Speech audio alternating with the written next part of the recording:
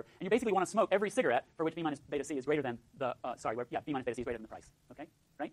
So that's where I'm getting this demand curve, and I'm calling it the behavioral demand curve, and what you can, what you can do is you can say, well, that's the actual observed, right? We call it the behavioral demand curve in the sense that, oh, this is the behavioral economic dumbed down irrational demand curve, but it's also the behavioral demand curve in the sense that that's people's actual behavior. That's what they'll actually do. And then this is the demand curve uh, that you would get if people were rational and their utility for smoking was instead B minus C, right? So it's going to be lower because C is bigger than beta C. Okay. Question for you, which you're probably all about halfway answering, is what's the dead weight loss caused by the internality?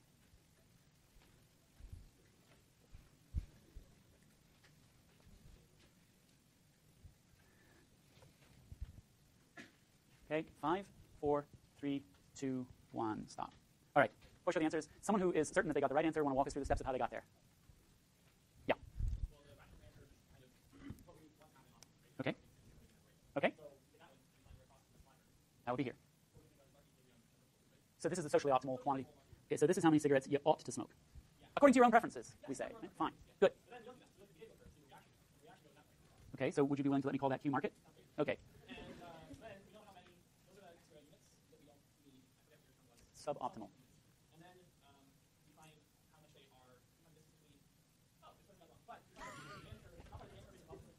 Why do you care about the supply curve? Because we're assuming away externalities in production. That's the marginal social cost curve. Takes a village, doesn't it? This is why we work in teams. That's the cost of society for every cigarette, smoked, right? That's, that is the cost of digging the tobacco up out of the ground. Okay, and what's the benefit to society? Okay, distance between the two for the suboptimal units is that is the that is the dead weight loss. C. You guys ready for the big reveal? It's a boy. Okay, good work. Majority went with C. Now, there's a really, really important lesson here, right? Which is that if you just follow my steps, you'll get the answer, even if you were wrong in the first place, right? So you, you knew the steps, you walked through them, we got to the answer. Good. All right. Um, what do I want to say about this? Now we can come back and go around and we can say, what is that? What, what is that? What, in terms of sort of telling the crosstown taxi story, what's going on here? Okay. Where's the where is the uh, internal where is the total internal harm to the smoker? What is the total harm that the smoker is causing themselves for smoking cigarettes that they shouldn't order? It's 3 plus 4, right? This is, this, is the, um, this is the marginal internal cost over the full range of cigarettes that they should not have smoked. Okay? So that's the total, that's the total harm uh, that they're causing themselves over and above the actual benefit they got out of the cigarettes. I mean, I don't, don't want to be, I don't want to be sort of paternalistic and, and, and, and uh, uh, self-righteous. There's benefits to smoking. It feels good. I have, in fact, smoked. Um, and I stopped really quickly because I saw where things were going. Um, uh, because it's, you know, it's a blast. It feels great. But that's the, that's, the, that's the harm they're causing themselves over and above the cost, uh, the benefit that they're getting because they don't fully appreciate the long-term costs. Fine. That's not all a harm to society, right? The only part that's a harm to society is this, because what we actually care about when we define deadweight loss, it's the difference when we define social surplus, which could be negative, in which case it's deadweight loss, is it's the difference between the actual benefit society got out of the good and the actual cost to society. This line here, right, this behavioral demand curve, doesn't represent any kind of value to society. What it represents is the decision-making rule of the smoker. It's not based on actual utility. It's not an actual benefit to society. The actual benefit to society is here. Okay, so we don't actually have a sort of conceptual. Um, I don't haven't come up with a good, clean, intuitive, conceptual explanation of what three is and why we don't consider three to be a benefit to society from a tax. Um, because it isn't, it's not actually ever, it doesn't ever represent benefit to the consumer that we're taking away. There's no, there's no sort of intuitive um, interpretation of what three is. Um, but what we do know is that there's, there's basically this chunk of lost consumer surplus because consumers are paying for cigarettes that they shouldn't. They're paying more for these cigarettes than they get out of them in the long run. Okay, good? Yeah? No, not so good. Question?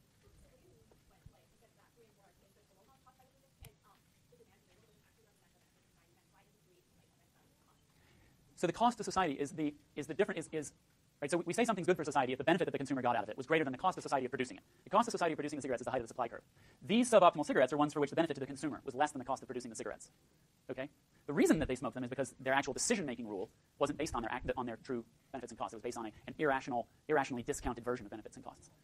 And you know, if you want, if you, if, you know, if you want some confirmation of my claim that a lot of times people, if, after the fact, will thank you for correcting their preferences, there's a whole lot of smokers that would love to have been whacked with a $10.50 per pack tax a long time ago and would have thanked you for it. Okay, fine. All right. So now I want to do some actual normative analysis uh, a la Pareto and Hicks-Kaldor. So what is the Pareto uh, efficiency rule? Something is Pareto efficient if you can't make one person better off without making other, the other one or some other one worse off. Okay? Which is to say um, that a policy is only a Pareto improvement if there are no costs. Okay? Um, so any way you can come up, anytime you can come up with a public policy that makes everyone better off, that's great. Hicks-Kaldor just says that something is an improvement if it makes the sum of uh, benefits and costs bigger. Okay. So here's a situation where I've drawn the internality quite large. Okay. Um, Right? So this is the total benefit of the most beneficial cigarette, and I'm saying that the internal cost, the 1 minus beta times c, is like almost half of that. Okay, so it's huge. Um, this is a situation where, right, so we, we have, these are the suboptimal units. If we stick a tax in here, a tax that is equal to 1 minus beta times c, we'll get people, we'll get the market to the optimal, uh, the sort of rational number of cigarettes. We will have eliminated this much dead weight loss, okay, uh, call that B, and we will have generated this much tax revenue, okay? Everybody get why that rectangle is tax revenue? Um, Now, notice that the smoker, unlike in the case of the externality, the smoker is experiencing both of these things. So for this to be a Pareto improvement, it needs to be the case uh, that B is greater than A. So we've helped the smoker by B. We've harmed them by taking away tax dollars. If that is greater than zero, if the, if the reduction in internal harm or the dead weight loss caused by the internal harm is greater than the tax revenue that we extract from this person, then that person will be made better off and they'll thank us. Okay? Uh, and, and then, of course, you know, taxpayers are made better off because they, they generate A as a benefit to taxpayers. Now, in terms of Hicks-Kaldor efficiency, the, the, tax revenue is a wash, right? In terms of just what's, what are we doing to the sum of social, the to, you know, total net benefit to society? We're taking tax revenue away from smokers and we're giving it to taxpayers. That's a wash in terms of society. We, that's that's um, a one-for-one trade from between smokers and taxpayers. And in terms of Hicks-Kaldor efficiency or the effect on total social surplus or net benefit, what we've done is we've added B. So this is for sure a Hicks-Kaldor improvement, but it's only a Pareto improvement if the tax revenue that we raise is small, is smaller than the uh, dead weight loss from the internal harm that we generate. Okay? And that'll be the case if the internality is really huge, because then the tax will drive an enormous amount of. Actually, sorry, it doesn't just depend upon the size of the internality, it also depends upon the slope of the demand curve. But there will be conditions under which, and should be predictable if you can measure the slope of the demand curve, under which the tax will make the smokers better off, even net of the taxes that they have to pay. Okay? Um, so that would be a Pareto improvement, though again, the naive might not think so. Um, it would depend on, uh, on whether or not they eventually wised up to the irrationality of their smoking behavior. If the internality is smaller, okay, then we'll wind up in a situation where we're reducing deadweight loss from the internality uh, by less and imposing a much larger tax burden on the smoker, in which case the smoker may say, hey, you know what? Uh, you can take your uh, paternalistic tax and uh, blow it out your vape pen. Um, okay, so that's just that's just um, so this would still be Hicks-Kaldor, but the, uh, it's not clear whether it's good public policy to say, oh, I'm going to tax away your internality, but I'm then going to walk away with the tax money, right? This is uh, not so obvious that we're making people better off. Um, we might be making society as a whole better off. In the case of an externality, this is perfectly justifiable, right? Yes, I'm taxing the drivers of SUVs, and yes, that's a harm to them, but they're causing a harm to somebody else? And I'm, the tax is offsetting that harm. So it's not so hard to see or to defend that that's better for society, even though it's hurting the SUV driver. Here, it's really unclear whether we should stand on that because we're hurting the same person we're trying to help. The tax revenue is hurting, is a cost borne by the exact same person we're trying to help. Um, now, to come back to Timothy's comment about subsidizing scooters. By the way, if you have a policy to subsidize scooters, I'm all for it. Um, so, can anybody think of a way that we could turn this into uh, an actual Pareto improvement? A policy that would make this a, just a, a, a complete gain for smokers? Ah, the graphic warning labels, right, because then you're, right, okay. Yeah, I mean, ban, ban smoking would be another one, right? Um, but just going with the tax, Okay, so I'm a smoker. I smoke three packs a day. You charge me ten fifty per pack. That's three dollars. And did I say three packs a day? Three packs a day. So you're, you're taxing me. What did we say? You're taxing me now thirty one fifty a day. How much are you to give me back? So if you give me back thirty one fifty, that's not going to help much, right? What? I'd probably catch on that that's not actually the actual tax rate is zero, right?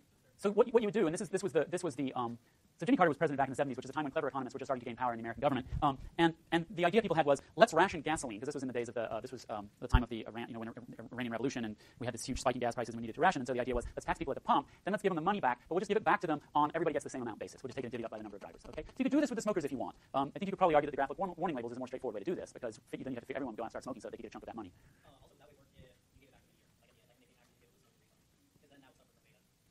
Interesting. Interesting. So again, harnessing the power of people's irrationality in order to help them overcome their irrationality. We can talk more about that in a couple days. Um, okay, there was, a, there was a hand here. No? Okay, yeah.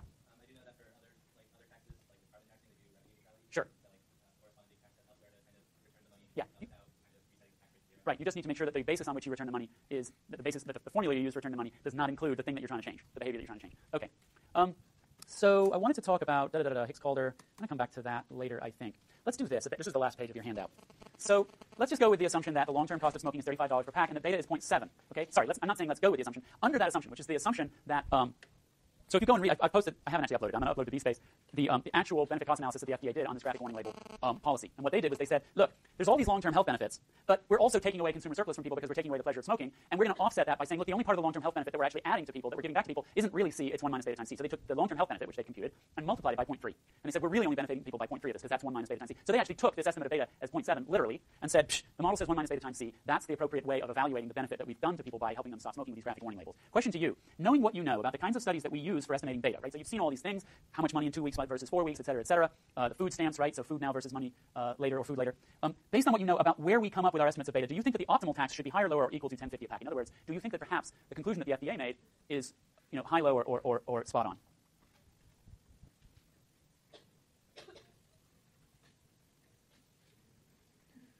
Okay. Five, four, three, two, one. All right. So we have some saying higher, some saying lower. Um, who, who said higher wants to justify a higher answer that we haven't heard from? Someone who's higher in the classroom? Hopefully not higher in other ways. Your name is Rebecca, right? Did you say A? You said A. Let's go with you said A. You said C. Okay, so w- tell me why you said C. Okay, so you're just saying, look, the, the numbers are there. I trust the model. I'm going to go with it. That's the right answer. Okay. That's fine. Um, uh, you can reconsider your answer later. Um, other thoughts? Who said higher? Who said it should be higher? And why? Yeah. Um, another step seemed seemed like it's a into account temptation. Um, as much as like smoking a cigarette, uh, it would seem like your beta itself would be much more tempted. Um, so the number of points in doesn't seem to accurately reflect like a smoker's hazard or someone that's just deciding between money now and money later. Okay, so money, we have money, most of beta is money now versus money later. We have food stamps, which is food now versus food later. Do you remember the estimate of beta that we got from the food stamp study? It was high. It was like 0.96. Okay? So apparently, the degree to which people appear to discount the future is what we call domain specific. So in the domain of food, when you're really close to the poverty line, people seem to have take into account take the future into account way more than in say the desire for heroin. And so, you're sorry, remind me of your name. Connor. So Connor's idea is that's the wrong beta for this situation. Okay, I tend to agree with that, and it brings me back to one of my biggest sort of um, one of the places where I feel like behavioral economics has not yet quite hit the nail on the head. Um, we went from a delta model to a, I think you'll all agree, radically improved beta delta model. Adding beta explains so many things. But if you recall what I said at the very beginning of all of this, beta is capturing, still capturing a lot of complicated psychology, right? So there's a whole future time perspective. I don't think about the future. I don't wear sunblock because I just can't stand the way it makes my hands greasy. I'm probably going to die of skin cancer. I already have precancerous cells on my lower lip because I sailed, raced, raced sailboats for so long without wearing sunblock on my lips. But that's going to happen in the future. This is not about temptation. Greasy hands is not a temptation issue. I just don't care about the future because I don't think about it, okay? Smoking is a matter of temptation. You could be staring your future self in the face. You could be sitting, you could, you could, you could be visiting your great aunt who's dying of lung cancer and smoking right in her bedroom. The point is that it's just incredibly hard to overcome the temptation. Okay? It's harder to overcome the temptation to smoke than it is to overcome the temptation to eat cake for most people. Um, and so what I think is going on there, the temptation itself, the degree of temptation, that's in what Matt Rabin calls the little u's, right? So the immediate utility of a cigarette, uh, it may be way more tempting than the immediate utility of cake. The issue isn't how tempting it is. The issue is how much willpower are you able to bring to bear? Now, people who've smoked or attempted to stop smoking Am I right that there's kind of a, is Connor right that there's kind of a mismatch between the degree of temptation and the degree of willpower? People who've tried to stop smoking and failed have probably done a large number of other things that involve huge amounts of willpower, right? The problem isn't lack of willpower. There's something much more going on with smoking that makes the Koszegi-Gruber estimate using beta equal 0.7 completely inappropriate for public policy analysis. The lesson is the same here as throughout the semester, which is if you don't have the right model, you're not going to make the right policy recommendations. Okay? Thank you.